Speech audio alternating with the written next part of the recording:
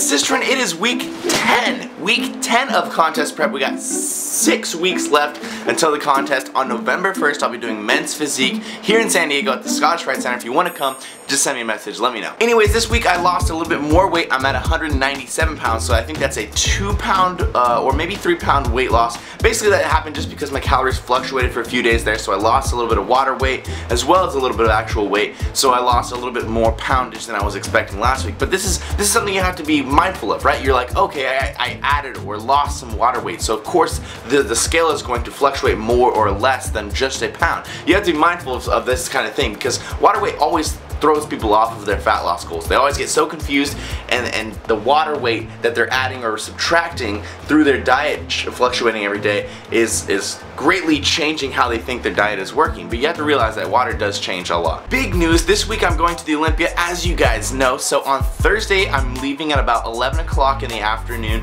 and I'm going to be working out at 7 o'clock at night. Now like I just said I'll be there Thursday but I'll also be there Friday and Saturday because of the expo so I'll be there for three days. I have to figure out how I'm going to deal with the food situation and honestly I'll probably not be hitting the diet that I'm trying to hit. I'll probably be eating a little bit dirty. I'll probably even be getting under calories of what I should be getting but it'll all be worth it because I want to see you guys. I want to meet you guys. I want to have fun with you guys. It'll be a lot of a lot of fun but I just thought I would tell you guys that because next week's diet will be drastically different than the regular diet that we're going with but for the first part of the week I will be doing what I've been doing which is about 2900 calories um, and then Thursday, Friday, and Saturday I'll probably be eating as much as I can possibly get in but I'll probably be eating somewhere around 26 or 700 calories. Now as far as my strength is going, you know what?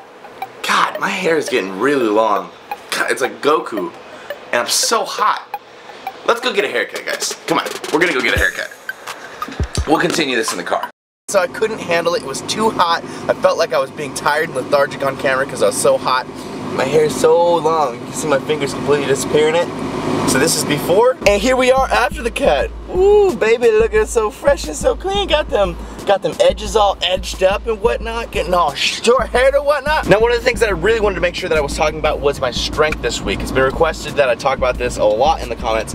And um, my strength has actually started to suffer in the last few weeks. You know, for the first probably like seven or eight weeks, I didn't really feel that much strength loss, just a little bit, just the regular. But over these last two weeks, three weeks, I've really started to see my strength and my endurance go down. For example, when I was doing squats, I, uh, I felt like going really heavy. I felt like testing my strength. I went from 225 to 275, I think, and I went to 315. And I grinded out this double, which you're seeing right now.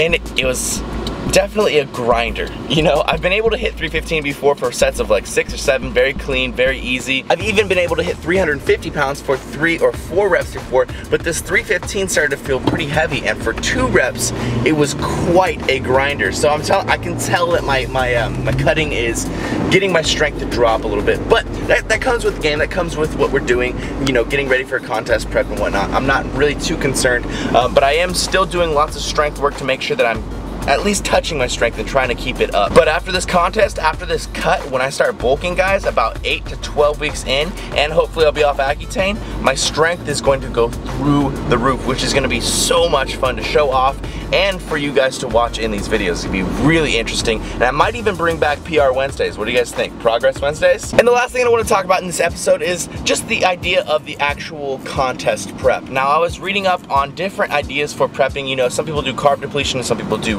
um, carb backloading, and all sorts of different things.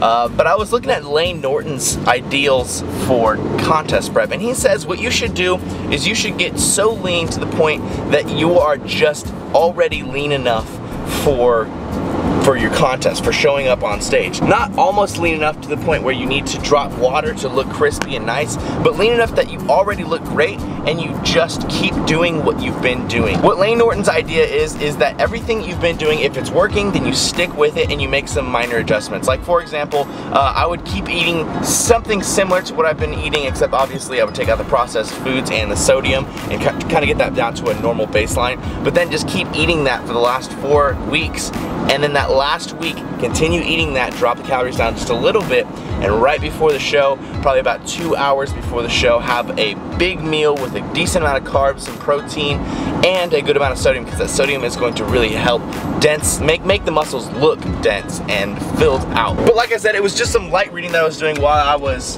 taking care of business in the morning. And uh, I would just want to know what you guys thought. You know, I want to hear what you guys' opinions and thoughts are on contest prep, what I should do for the last four weeks, what I should do for the last peak week, what I should do for all that. Because I think I'm going to go with Layne Norton's idea.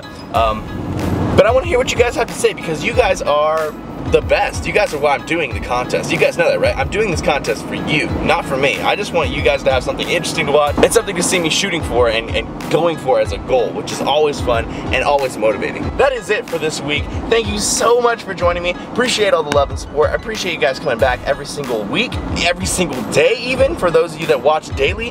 Um, and, and if you're not subscribed, please, please, please, please. The channel is growing and I want you guys to be there with me while it grows, so please subscribe. If you haven't liked or commented, please like. I hope you guys like all the leg footage. I hope you guys like how my hair came out. I hope you guys liked this weekly progress video. I'll see you tomorrow. Team Beyond the Weak. Lift heavy or die, mirin.